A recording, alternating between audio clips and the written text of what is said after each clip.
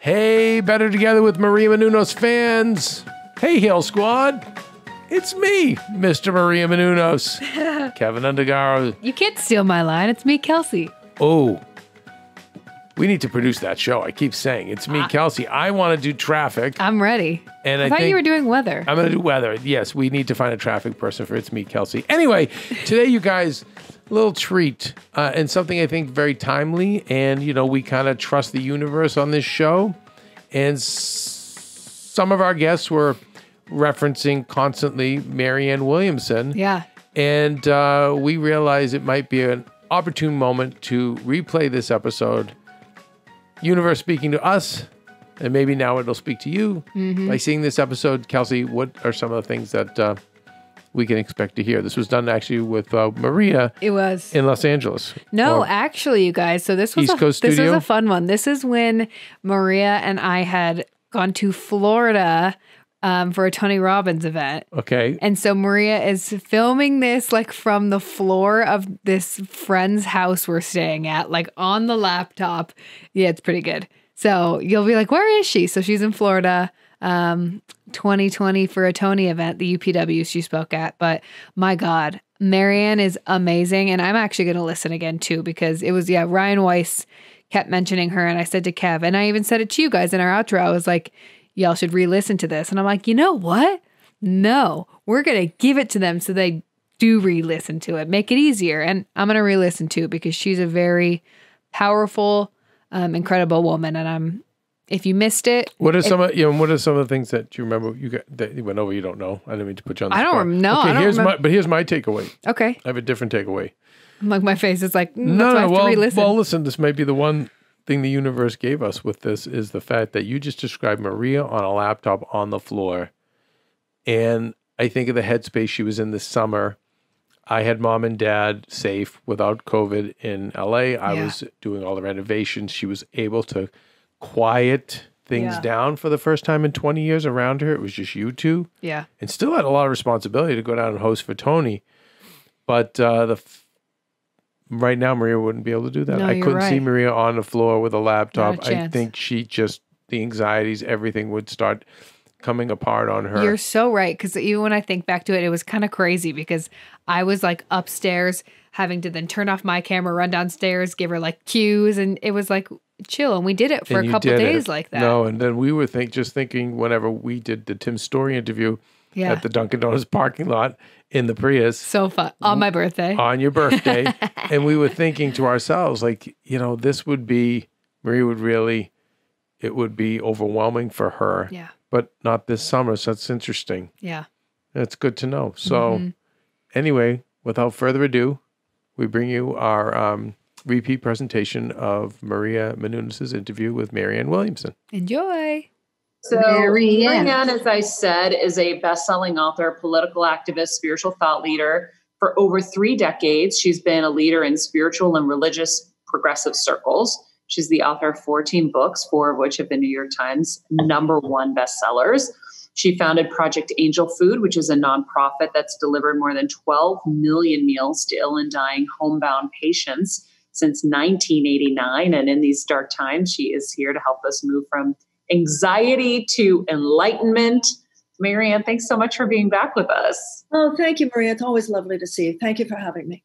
Of course. So, you know, anxiety to enlightenment. It's funny. Before I left to come here to Florida uh, last week, my husband said, he's like, Maria, you need to figure out the cure for anxiety, especially for women. And it sounds like you might have it. So maybe this is the form it's coming in.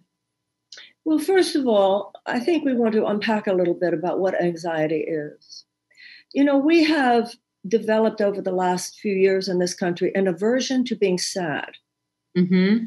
and it does not serve us. I remember when my daughter was a small child, and she would come home from school and she was very disappointed, or she was sad, or she was angry and upset. And I realized that the point of being a mother of a small child is to help them deal with difficult emotions because later in life they would have to deal with them, to help her develop the emotional musculature, not to create situations where she could always avoid those emotions because they're part of life. Sometimes we're sad because events are sad. And the appropriate emotion to have when an event is sad is sadness. Now, the fact that so many Americans are very anxious right now, federal troops are about to invade Chicago. If you're not anxious about this, who are you?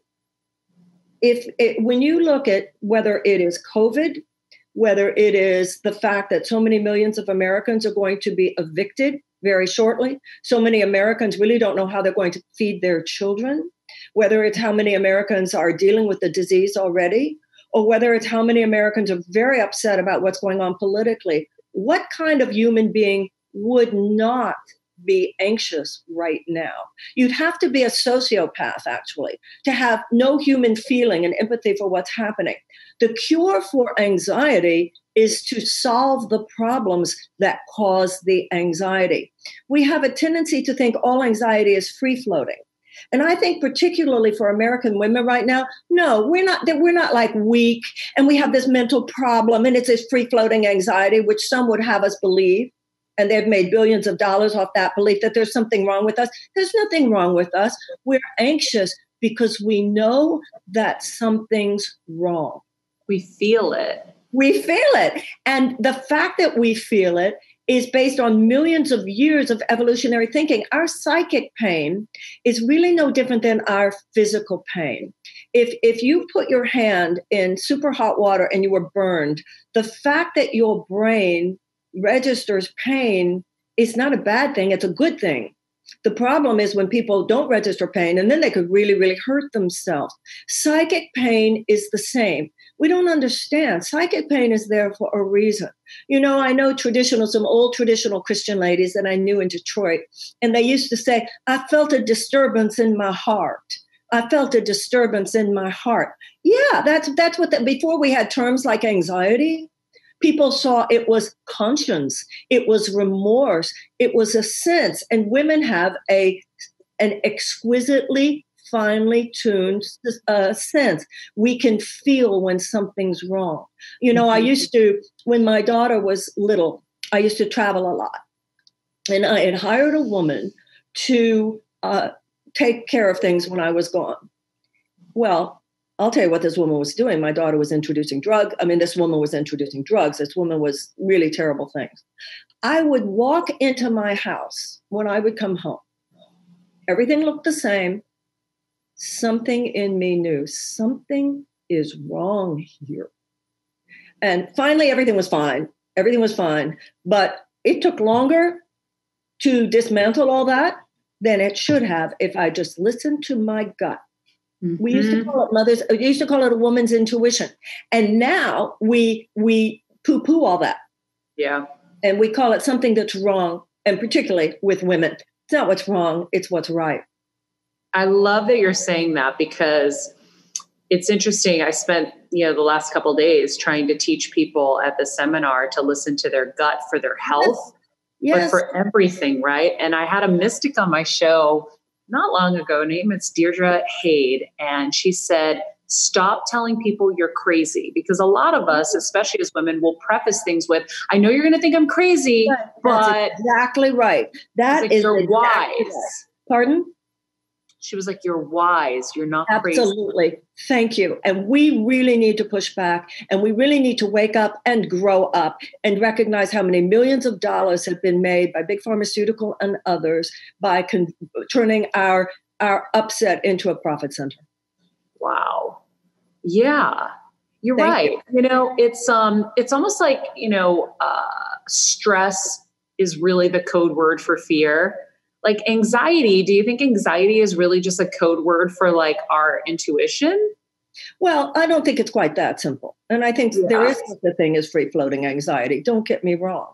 But i believe we need to take a much more holistic look at everything that's happening. Not all upset not all sadness not all stress should be viewed as a problem.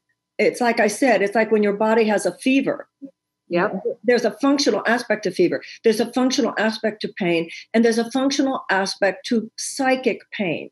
But I also believe that we have a psychic immune system, an emotional and psychological immune system, just like we have a physical immune system.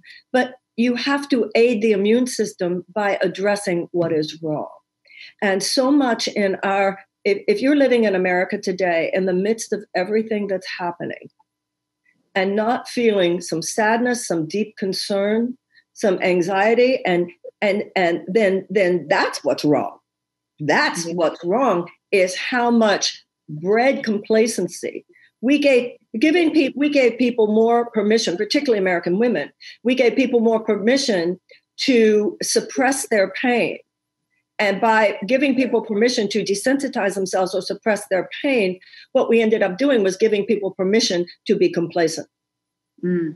and so many people in our society today you know i have a nice house behind me you have a nice house behind me there are many behind you there are many people in this society who have been privileged enough to be able to buffer ourselves from certain of the more serious problems in our society. So our our distraction and chronic disengagement from real political and social and economic problem solving became a luxury. Mm. And I think what's happening now is an awakening that we're all Americans.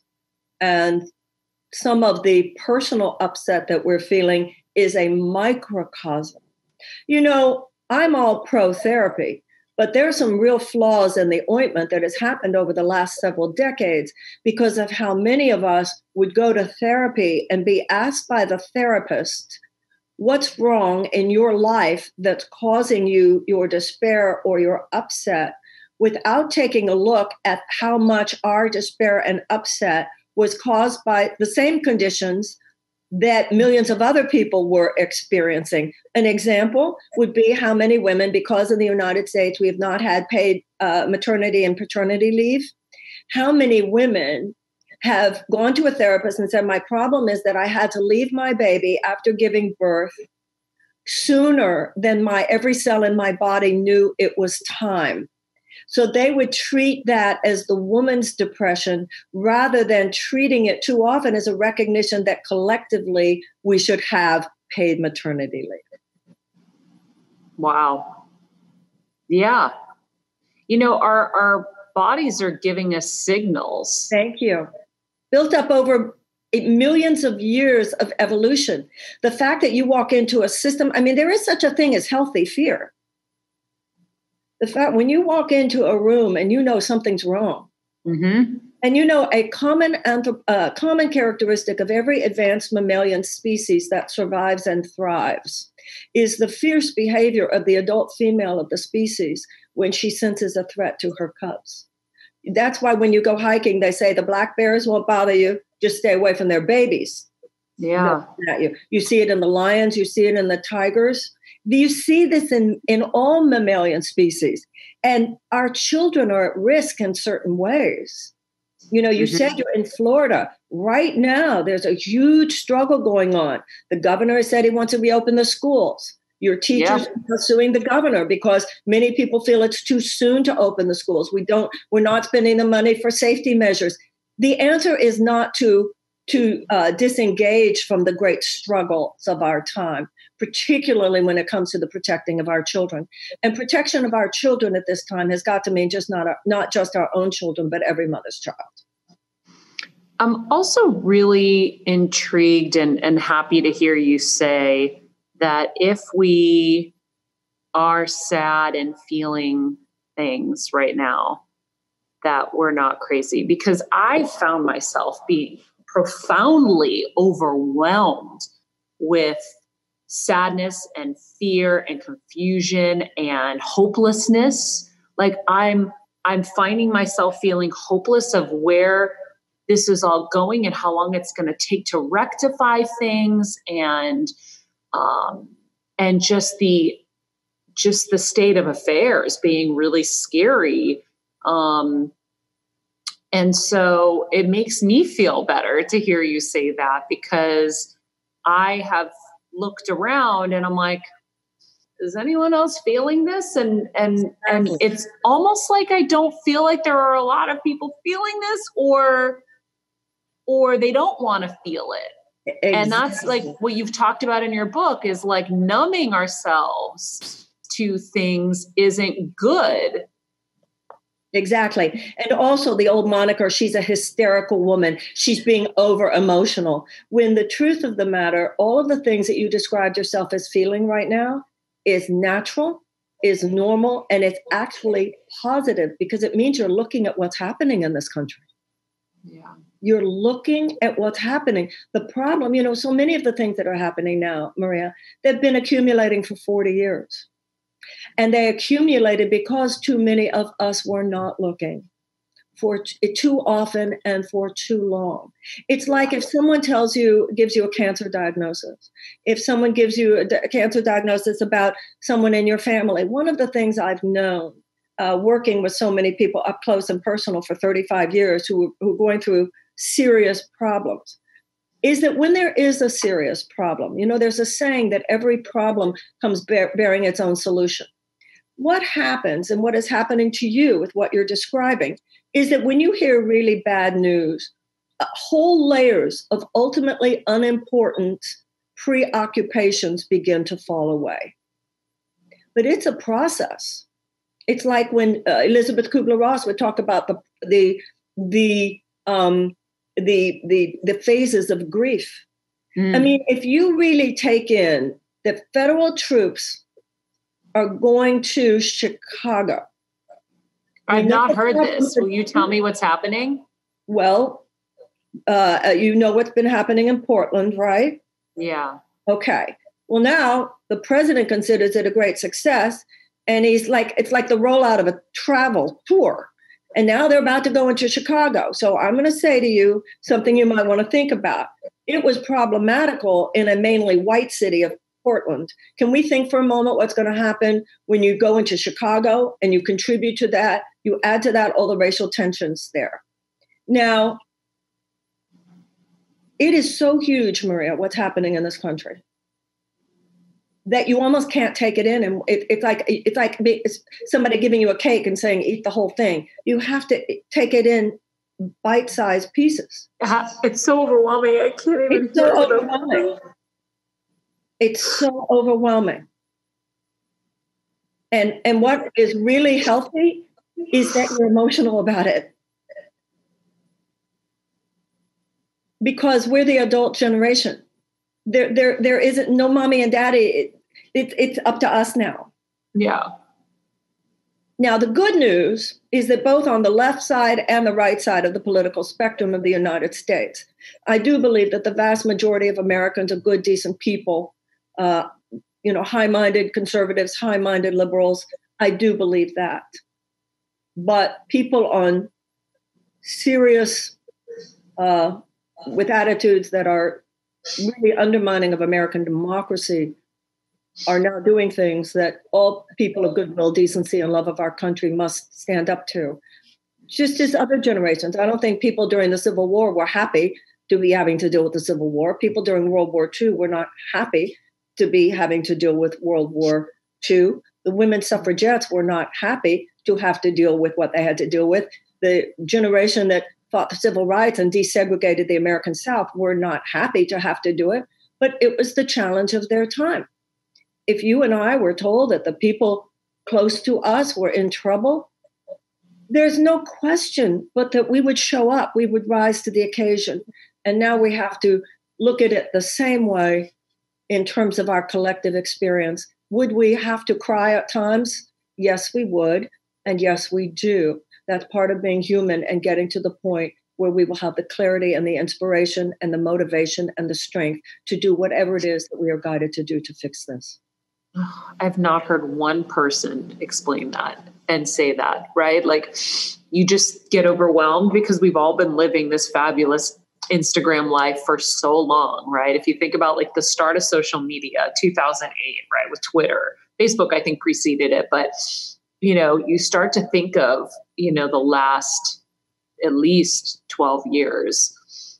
Um, but la- the last 20 years, it's just like everything was, you know. But let's think about that because even before the pandemic, 40% of all Americans could not afford an unexpected $400 expenditure.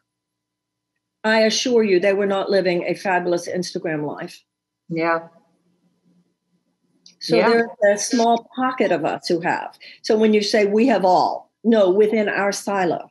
Yeah, for sure. Absolutely. I mean, and I know that obviously we had the collapse in 2008 and stuff, but I just feel like in kind of the bigger cities, you know, and definitely in, in my space in the entertainment world, um, it's it's been a different thing. And so when you see everything, I mean, coronavirus, like we can't even we there's no end in sight, and you're just how is life going to resume? But you're right, like everybody's had their time and everyone's had their things to tackle not only that, but to realize how many millions of Americans were in economic lockdown even before coronavirus. Yeah. Yeah. And the very fact that our country has reacted to the coronavirus so horribly. I mean, it did not originate here, but unlike other countries, the way our government has dealt with it has been beyond inept. In my mind, it's been somewhat criminal we had uh, ways and very intelligent people in our government who knew what to do to handle this more effectively. We there were people who chose not to, and then even once bailouts started, uh, the bailout money mainly went to a small portion of huge corporate interests as opposed to people. Do you realize how many millions of people, Maria, for whom a twelve hundred dollar one time bailout, twelve hundred dollars. I mean, just allow yourself to think about what that means. And that was given weeks and weeks ago. In other countries, let's say England, they gave direct cash to people at 80% of their salary so that they could make it through this. In Vietnam, countries like Vietnam, for goodness sakes, they have ATM machine type machines on the streets dispensing free rice. Here, we had 40 million uh, Americans living in hunger even before this happened. We have even in Florida, where you are, there, you see lines of people in, in, in lines for hours waiting for a 30, uh, $30 food coupon. And, and our looking away from this is very dysfunctional. You know, some people will say, if you look at something, that makes it expand. But that's a, a platitude we need to drop. Sometimes, sometimes things expand because you do not look at them. If you mm-hmm. have stage one cancer, the doctor doesn't say, well, it's only stage one. Let's just not look at it. Let's just not think about it. No, no, no, no. You look at it when it's stage one so it doesn't become a stage four. So now, are we intelligent enough to handle all this? Are we as good as any other generation? Absolutely, we are. But we must put our attention on things that must be tended to. And when you begin to do that, you cry. You know, there, there was a book that came out years ago, a woman, I think was about breast cancer. I think the title of the book was First You Cry. Mm. I mean, we have had the blessing of the most extraordinary freedoms in this country. We just took them for granted, Maria. Yeah. And so many of us, you know, if you make it into the club in America, You've made it into the club, and I've made it into the club. If you're in the club in America, there's no better place to be. Not enough people can make it into the club right now. That's the problem. Not that some people get to have fabulous lives, but that not enough people now, with healthcare, with education, with opportunity, financial and cultural, are able to reasonably be considered able to manifest their dreams and what this has turned into as a consequence is rampant sociopathology, mass incarceration, etc. We've we've got some serious things to think about, and I believe that the American woman has a serious role to play in doing that thinking, honoring our feelings, and helping to bring forth some solutions. So I'm not the only one that's sad. I'm not the only one that's crying. How um, and obviously it's the name of your book. So, how do we turn our tears into triumph? Well, I believe that there is a divine intelligence in this world. I'm a woman of faith. I believe that if you look at the physical body, it's amazing how how much the um, physical body, how much it can take in terms of injury and assault and sickness and still heal.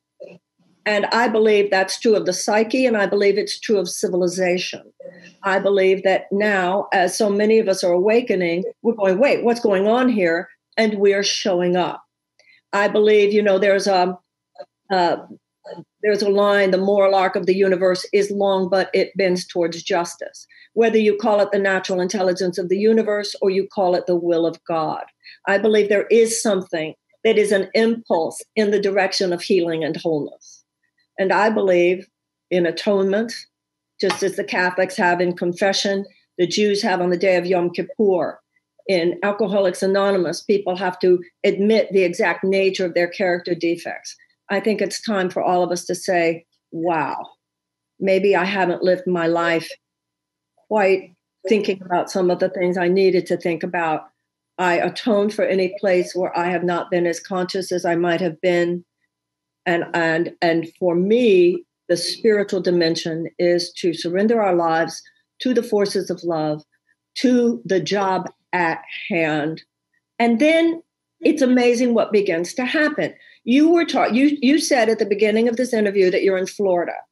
And then a few minutes later, we were talking about the fact that the governor wants to open the schools but there's a, a, a suit being brought against him by mothers, teachers, etc.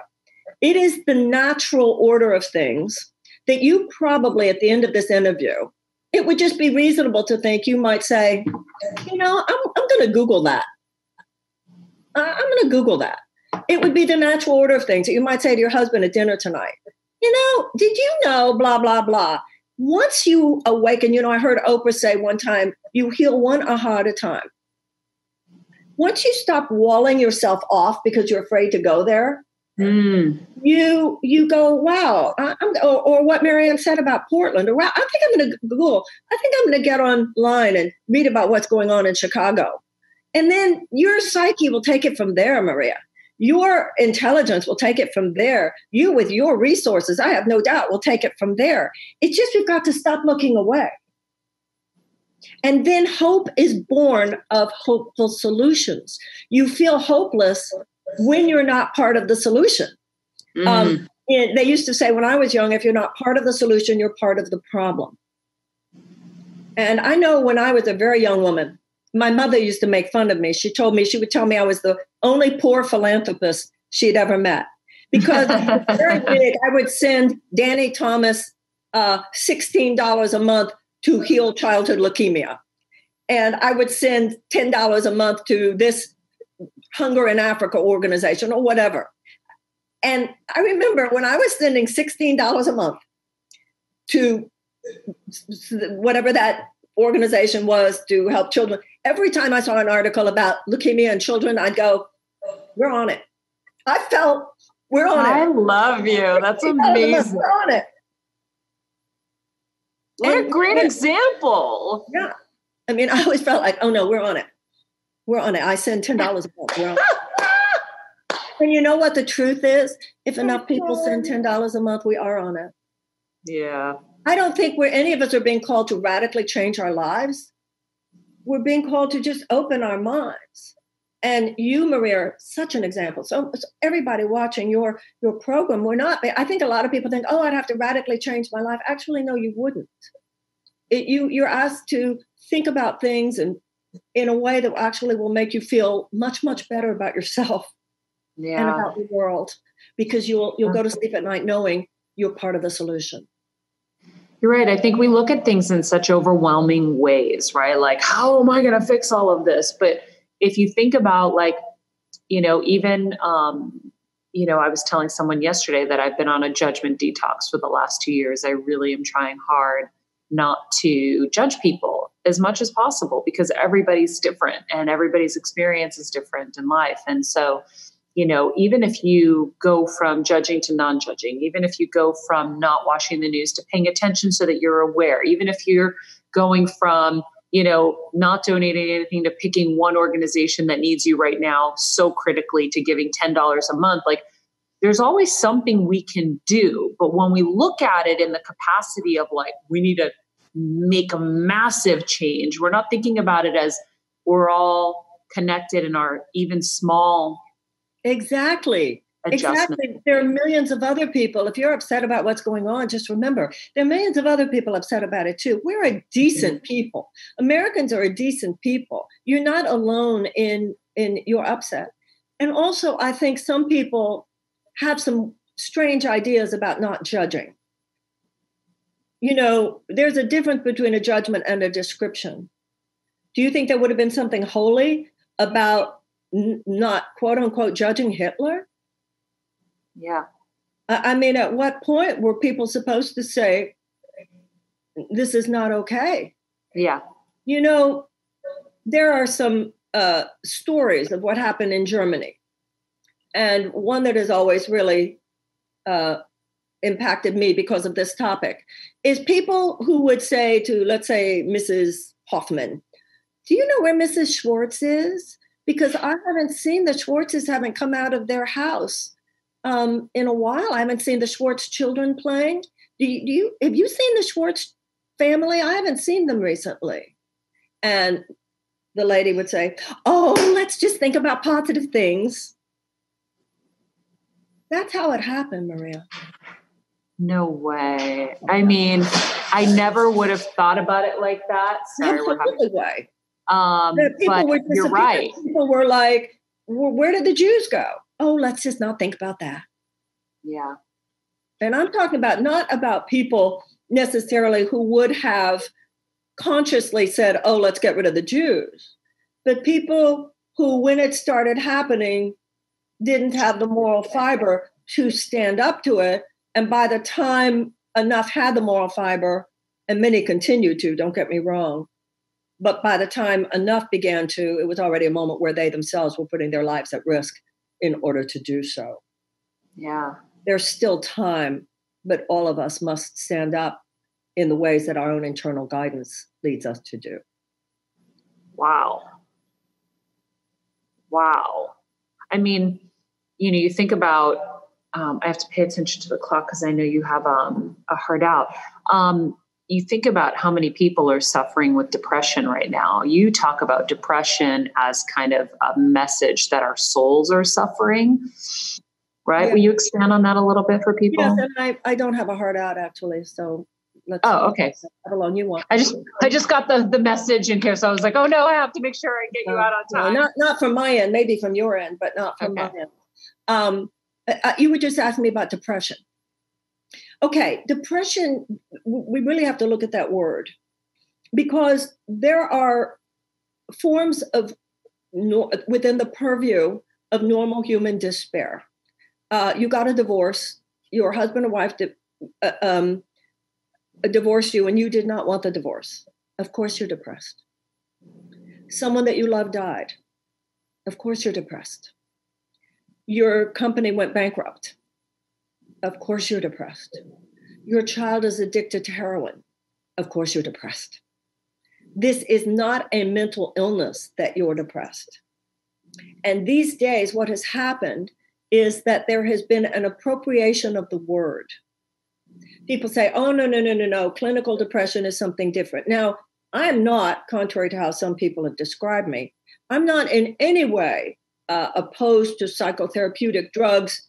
There are people with bipolar bipolar conditions, schizophrenia, etc., who obviously are helped by psychotherapeutic drugs. Mm-hmm. But we have gotten to a point, particularly among American women, where any sign of depression is seen as something that's a serious problem that should be treated by psychotherapeutic drugs, even when there are very serious things to think about. Number one, uh, for it is it is a black box uh, uh, warning on those drugs that um, uh, that people 25 years old and younger who take the antidepressants uh, can have a greater risk rather than lesser risk of suicidal ideation. Uh, the, the, the use of antidepressants at the rate we have them have not, in fact, brought suicide rates down. They are now recognized as being very addictive. And so, while I do believe there's such a thing as clinical depression, where perhaps they would be useful, you want to, I look at it much like pain pills. Is there a reason for painkillers? Absolutely there is. For people who people who have serious, serious pain, of course there's a reason for narcotics. Mm-hmm. But what happened was that our attorneys general are now all over the country indicting and prosecuting uh, pharmaceutical company executives for known predatory actions where which caused the opioid crisis. So antidepressants should be the same thing. They should be seen as something to be taken by those who are who are there is some reason to seriously believe seriously need them and my point is that might not be the kinds of things we talked about which are simply normal human despair many people will say oh it's a chemical imbalance but I don't know. I know very few people, if any. Actually, I don't know anyone who was put on antidepressants who went to have a brain chemistry test first. In fact, many women are given them by their gynecologist. That's hardly a mental health expert. So I think that the fact that we are depressed about what's going on in many things in America today is actually, as I said, a functional rather than a dysfunctional response to our time. And telling us that it's a dysfunctional response will, will lead us into behavior that either causes us to desensitize ourselves from it or go down a deep spiral um, I think people such as ourselves should be holding each other's hands and supporting each other, knowing that other generations went through tough times. Surely you think that the people who walked across the bridge at Selma, you think they weren't anxious? You think that the women suffragettes who, when they uh, were thrown in jail for marching for the a right of a woman to vote, the and chills. the conditions in the jail were so terrible that they went on a hunger strike. And the response of the prison administration was to send men into their cells to put these metal contraptions around their neck to force them to eat. You think they weren't upset and anxious?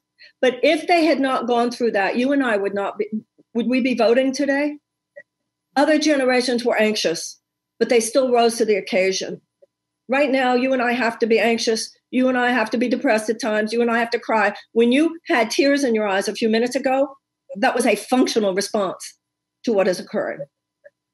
And we will get out of our anxiety into our inspiration, into our motivation when we stand up and say, you know what, this country has some problems and we're going to fix it. We're going to make it through COVID. We're going to do it for the sake of our children. We're going to do it for the sake of our children. We're going to fix our economy. We're going to fix what's happening. We're going to do it. And we're all on the other side of this going to be better people because we showed up. We're going to be stronger men and women, and we're going to be a better country. I believe that with all my heart. I think that's just such an incredible message. And I know that you just helped me tremendously.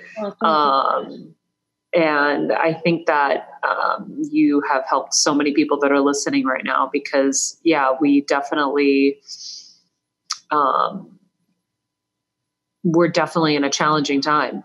Yes, and we should admit that we're in a challenging time and not pretend we're not in a challenging time. Yeah. And I think that you know, everyone's just waiting for Santa to show up, and, exactly. and Santa's not coming, guys. it's us. You're exactly right. It, we've had a crisis of adulthood. We we didn't quite we didn't have the kind of coming of age experience that like my parents' generation had with World War II, and so too many women are still psychologically grounded in the space of a little girl. Too many men are still psychologically grounded in the space of a little boy. So this is a coming of age event we're all growing up and maturing very quickly. But once again, Maria, it's a good thing. It's a good thing. We're going to be better on the other side of this. I believe this. Yeah, I think uh, you you've clarified so many things, but also like you're giving us our hope back. That's where hope comes from. Hope, faith in God means faith in God in us. Hope comes from knowing we're going to handle this. Yeah. It, it's not somebody else is going to handle this. Yes. That's what I think all of us are thinking like, hey, hey, who's going to handle this for us? Because uh, I don't think I can. I'm not equipped. I don't know what to do. Like everybody's kind of just waiting, like I said, for Santa. When we have to realize you're right, like whatever we can do, we should do. particularly we have elections coming up soon. Uh, there's a lot we can do. There's so much we can do, and I, I because I'm a woman with a spiritual orientation, I believe that if we pray, and for those who don't see it that way, look into your internal guidance, whatever, and ask. It's amazing how much we know in our hearts we could do, but we just haven't been looking there. Yeah. You know, I can't let you go without asking you about the presidential election coming up in November. It was interesting when you were on the show before, you were like moments from announcing, and I felt it that day. Um, what do you think about the, um, you know, the the state of the election right now? Kanye West has um, jumped into the race. Tell me what you're thinking. I'm definitely going to be voting for Joe Biden. Um, Joe Biden is not a conservative's dream candidate, and he's not a liberal's dream candidate. But he is the dream candidate of the part of us as Americans which knows we must get back to some normalcy. We, we must get back to some decency. We must get back to some basic respect for the pillars of democracy. The issues of left versus right, we'll deal with all of that later, but we can't deal with it until we get back to some basic decency. We need to get back on the track of the ba- of basic respect for the traditions of American democracy, and that to me is sacrosanct. In my opinion, you cannot have that with this president, and that's why I will not only be voting for uh, Joe Biden, uh, but hoping passionately that he wins. Um, we're way past the period of, oh, but I don't agree with him about this, or I don't agree with him about that. Who cares right now? Because the issues that we normally think of as the issues, we need to deal with the underlying issues of the fact that the current president we have, his attorney general, his Department of Homeland Security, and others are displaying a, a lack of respect for our Constitution. And um, sometimes they say, I don't want to vote for the lesser of two evils. If your two choices are evil, you better believe you should vote for the lesser. Wow. What did you think of Kanye joining the race? Do you are you taking that seriously? Well, I think that we should first of all, I have to say, as someone who ran myself, he has a right to run if he wants to run. Uh, where I am sitting right now, um, I do not feel that we have the luxury of anything that takes away from the effort to replace the Trump presidency in November. Got it. Um, Marianne, thank you so much. Thank you so much, Maria. We really needed this. It's always so lovely to talk to you. And, thank uh, you. Thank you. Thank you for all you have and all you do. Much love to you. Thank you. Thank you. I I can't tell you how much I needed this. So I think if I needed this, I'm sure there are many others like me who needed it too. So thank you for giving me hope. God bless you, honey. God bless you. We'll see you soon. You too. Wow.